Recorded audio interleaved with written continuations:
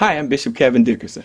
And I'm Sonjia Dickerson, and we'd like to tell you about Vinson Financial. Vinson Financial is a ministry that ministers to the needs of pastors and churches uh, relating to issues of finance. Uh, what they've done is they've created a ministry where you can manage your finances based on the Word of God. It is a powerful ministry, and it is a ministry that can be custom tailored to the needs of your church. Uh, they do two to four hour boot camps. They do weekend seminars, a Friday and Saturday a seminar for your church.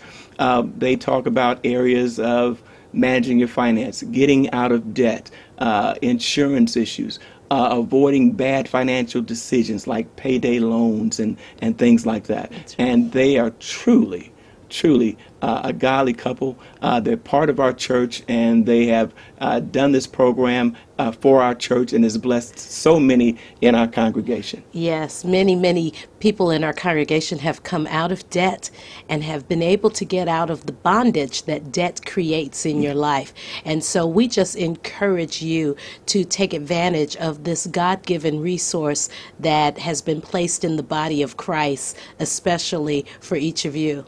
And what blesses me about Vinson Financial is that the Vinsons are real. Yes. Uh, they have, God has blessed them to come out of debt. And they have taken the word of God and they've applied it to their own lives and they live completely debt free now and and so they can minister to you regardless of where you are.